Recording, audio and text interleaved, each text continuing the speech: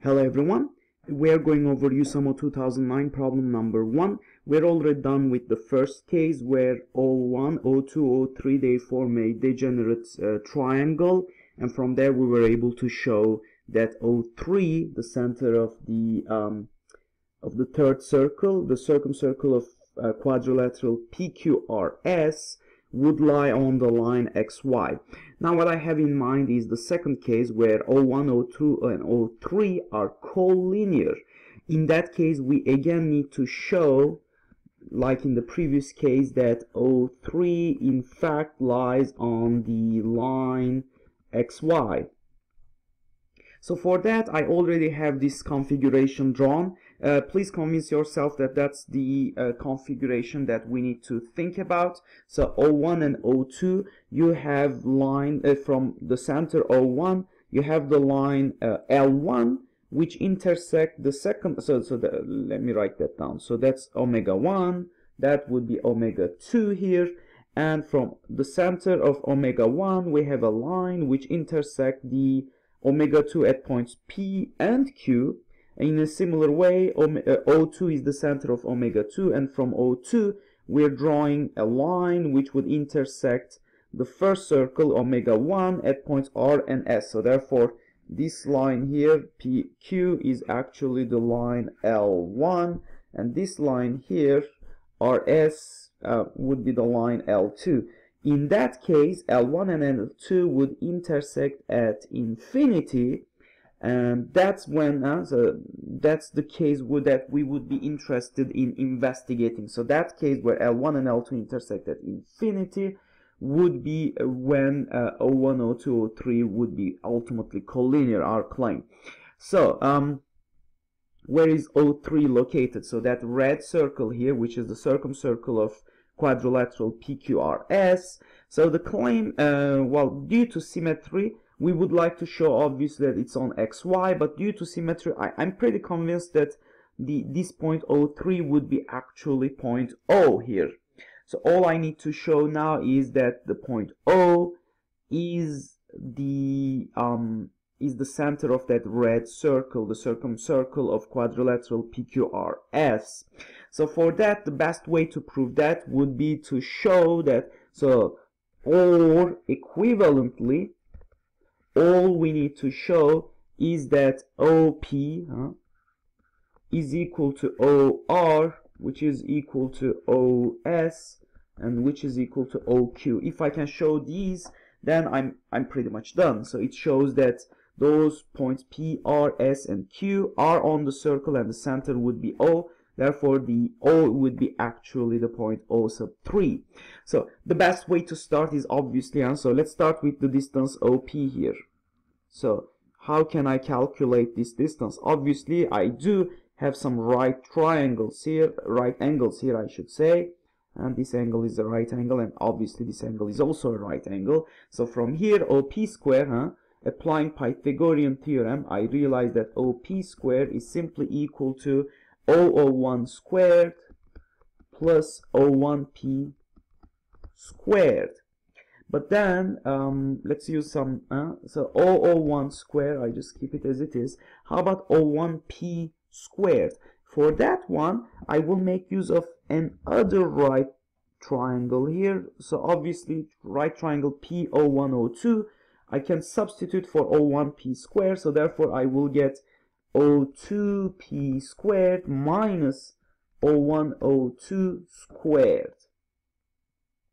So now uh, I can rearrange them, like at least organize them. So O01 squared plus, uh, notice that O2p is the radius of the second circle, omega 2 minus O1 O2 squared. Now I need to find an expression to substitute for that R2 here and that expression I will find using this point x here so measure of O2x uh, so let me draw it with a different color here. Notice that O2x that distance would also measure R2 here. So R2 this one measures R2 but this one also measures R2 so from here we just realize that um, O2x squared O2, um, let me actually do it separately over here. um, um, let's let's do it here in this let me, I just created this little box here so O2 um, x squared is equal to R2 squared huh? that expression that I need here. But now notice by Pythagorean identity that O2x is simply um, OX squared plus uh, o, OO2 squared. So it's OX squared plus OO2 squared. Now I can substitute this expression into uh, here. So I have 001 squared plus um, um, plus this expression here which is ox squared um, ox squared um, plus yeah 002 squared and I still have this minus 0102 squared. So let me squeeze that into here 0102 squared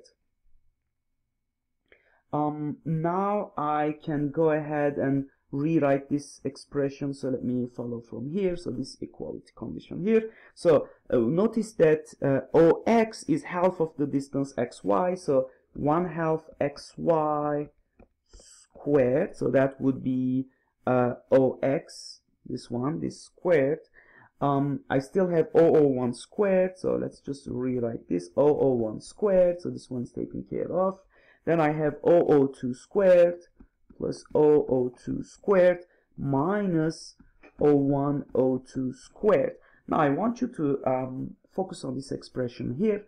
Notice that all these points are predetermined and they do not depend on the points P, Q, R, and S. They are independent of the points P, Q, R, and S. So I was able to find OP squared or OP in that for that particular case. OP in terms of those um, fundamental points O, O1, O2 and points X, Y which are obviously um, given depend only on the radius of these omega 1 and omega 2 but in a similar way by symmetry I can also establish that this quantity is also equal to OQ squared OR squared and OS squared. It's not too difficult to start with similar triangles and then, and uh, so for instance, a triangle like this one here for OR squared and then apply the steps that we followed in this proof to establish that OP is in fact equal to OQ, which is in fact equal to OR, and that in turn is equal to OS. And that shows that these quantities being equal shows that O is the center of the quadrilateral, uh, cyclic quadrilateral PQRS.